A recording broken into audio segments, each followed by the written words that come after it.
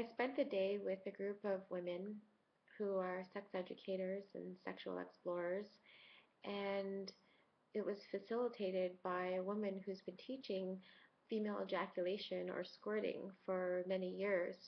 And we were discussing different ways to teach women how to ejaculate.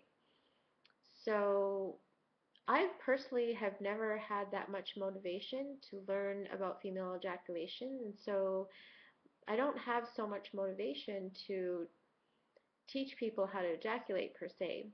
But the interesting thing that came out of this training and working with these women is that how little I know about my body.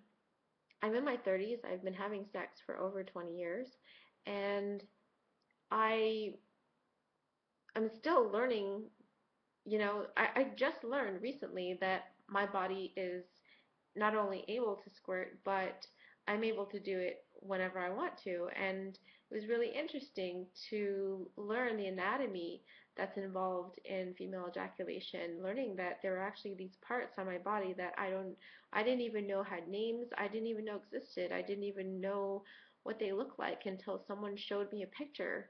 And these are the kind of things like that your family doctor doesn't really talk about. Um, we you know, pleasure doesn't seem to be one of those areas that's considered mm, priority that we need to really check up on and, and learn more about.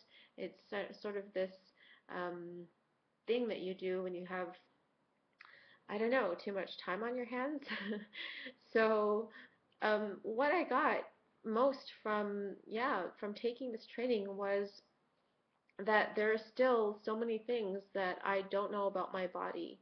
And if I think about, you know, going to see an expert like a nutritionist or or a doctor or a counselor or a therapist, like a physiotherapist, you know, about my body, they may be experts in their field, but how how much time are you really spending with them? How much do they could they really possibly know about your body? Sure, they have measuring tools and and machines and computers and things that can um, measure various um, processes within your body, but how how do those translate to you, and what does it really mean to you? And and I, I would imagine that the fact that you spend every single moment of your life for how many however many years in your body, this is your home, and I kind of I find it very strange that people rely so much on outside opinion when really, if this is your home, you're the person who should be an expert at it. You may not know the technical details about how they work, how the cells work, how things metabolize, but you can feel and you can sense how your body responds to certain things. Let's use pleasure as an example. Last time you had sex, you know, were you doing things or asking for things or receiving things that you had received before and felt before and were comfortable with or you could predict what the outcome was going to be?